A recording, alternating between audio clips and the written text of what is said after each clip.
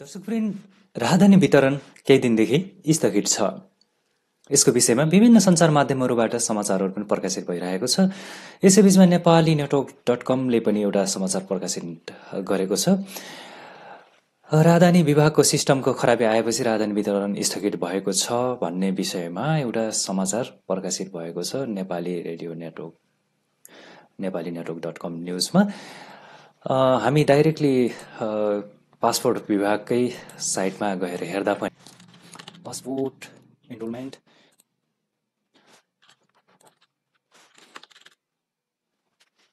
passport dot Nepal passport dot कममा गएर तपाईँहरूले हेर्न सक्नुहुन्छ। राजधानी विभागको एउटा सूचना फेरि पनि प्रकाशन भएको छ। राजधानी विभागको सूचना अनुसार राजधानी विभागको मिति दुई हजार उनासी नौ महिना उन्नाइसको सूचनालाई उद्धित गर्दै केही सञ्चार माध्यमहरूमा राजधानी सेवा अनिश्चितकालको लागि अवरुद्ध भन्ने समाचार प्रकाशित भएकोले यो सूचना जारी भएको छ। राजधानी विभाग जिल्ला प्रशासन कार्यालयहरू इलाका प्रशासन कार्यालयहरू र विदेश स्थित नेपाली नियोगहरूमा अपोइन्टमेन्टको लागि मिति र समय प्राप्त गर्न नहुने सेवाग्राहीहरूले सोही दिन विवरण रुजु गर्ने राजस्व दाखिला गर्ने र लाइभ इनरोलमेन्ट गर्ने सेवा अनियमित सञ्चालन भइरहेको छ। सम्पूर्ण सिस्टमको एउटा कम्पोनेन्ट भ्यालुएसन भ्यालिडेसनमा प्रविधिमा समस्याका कारण डाटा प्रोसेसिङमा सुस्तता देखिएको हुँदा राजधानी वितरणमा मात्र केही ढिलाइ हुने जानकारी गराउँदछौँ।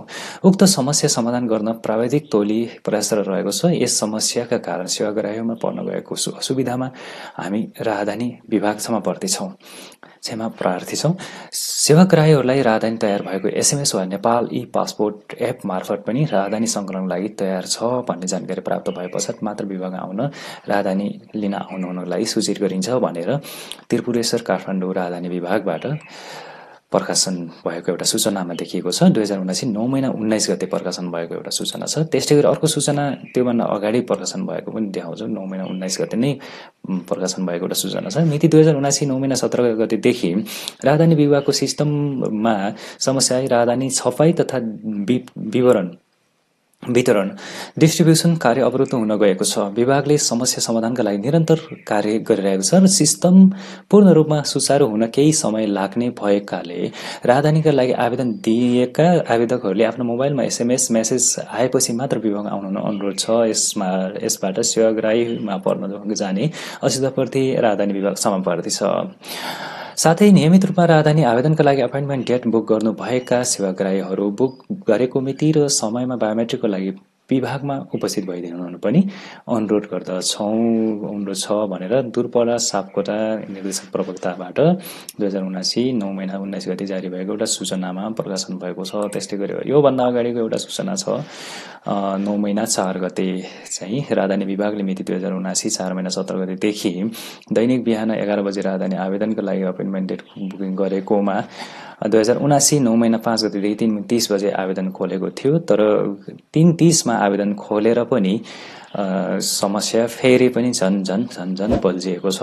देशमा धेरैजनाले जो चाहिँ वैदेशिक रोजगारमा अथवा भ्रमणको लागि अथवा अध्ययनको लागि बाहिर जान जो इच्छुक हुनुहुन्छ उहाँहरूले चाहिँ निकै नै दुःख पाइराख्नु भएको अवस्था। यदि यदि तपाईँहरूले पासपोर्टको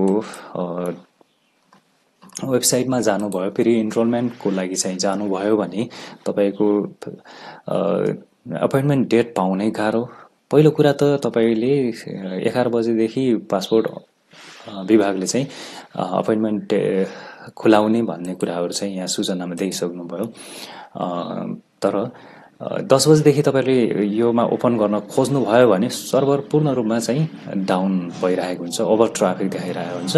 अहिले त मैले यो रेकर्ड गर्ने बेलामा चाहिँ अहिले केही पनि नभएको कारणले गर्दाखेरि यतिखेर त देखिएको छ तर पनि डेट पाउनलाई चाहिँ अथवा यहाँबाट इन्रोलमेन्ट हुनको लागि चाहिँ गाह्रो छ।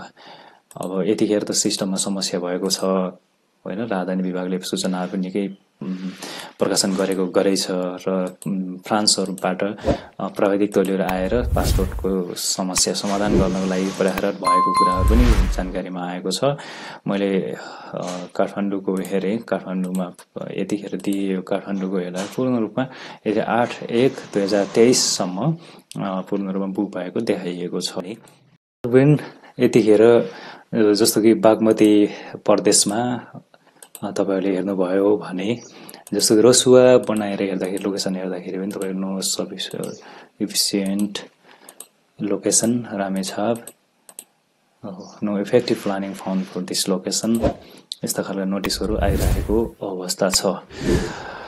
अब पासपोर्ट विभागले प्रकाशन गरेको सूचना अनुसार अब केही दिन चाहिँ समस्या समाधान हुने जस्तो देखिँदैन। नेपाल सरकारले यसलाई छिटोभन्दा छिटो समाधान गरोस्।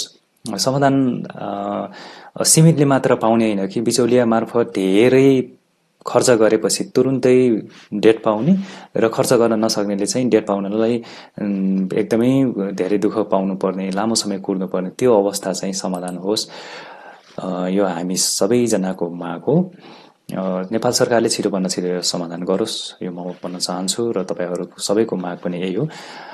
र दर्शक पनि यो हेरिसकेपछि र सूचनाहरू हेरिसकेपछि तपाईँहरू विभागले प्रकाशन गरेको सूचना अनुसार तपाईँहरूको मोबाइल म्यासेजमा नोटिस आइसके पछाडि मात्र पासपोर्ट लिनको लागि जानु होला भन्दै म आजको प्रस्तुतिबाट बिदा हुन्छु। हस्त धन्यवाद।